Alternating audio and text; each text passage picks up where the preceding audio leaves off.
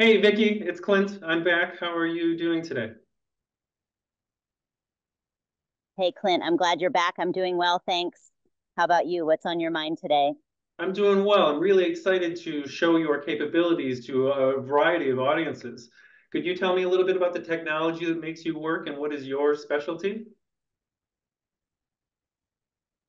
Sure, I'm designed to help users practice conversations and navigate challenging scenarios. My specialty is role playing different situations, providing constructive feedback, and suggesting strategies for improvement. I aim to create a supportive environment for enhancing communication skills. What specific scenario do you want to explore today?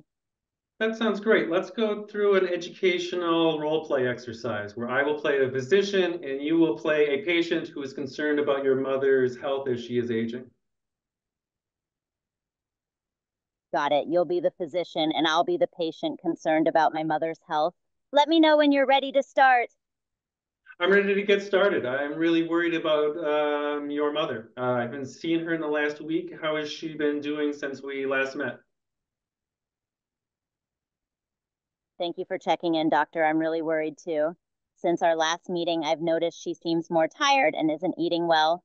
It's tough to see her like this, and I'm concerned it might be getting worse. What do you think we should do?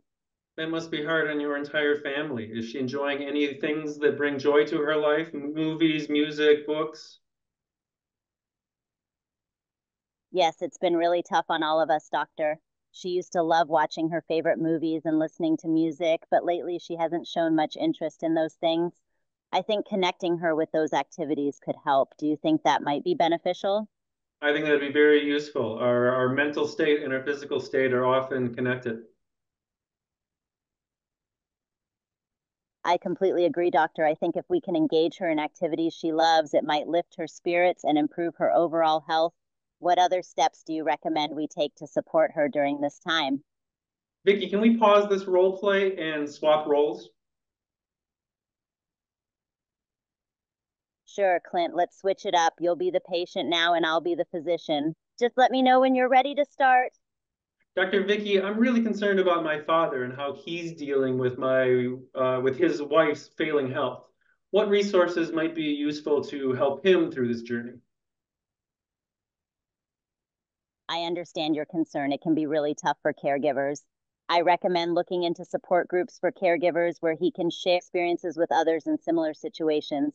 Also, respite care services could give him a much needed break. Would he be open to counseling or therapy as well? It could help him process his feelings. What do you think? I think it's a great idea. Let's take a break from role playing. We could be having this conversation about any topic, not just public health, but but literally anything. Is that correct? Absolutely, Clint. We can chat about any topic you'd like. Just let me know what interests you and we can dive into that. What's on your mind?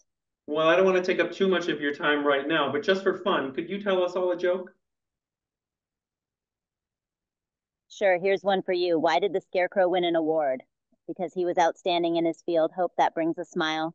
What else is on your mind? That's very funny. Thank you. Could you tell me that joke in Italian? I'm glad you liked it. Here's the joke in Italian. Perché lo Spaventapasseri ha vinto un premio? Perché era eccezionale nel suo campo. Would you like to explore more jokes or something else? That's very impressive. Could you count backwards from 100 using only prime numbers?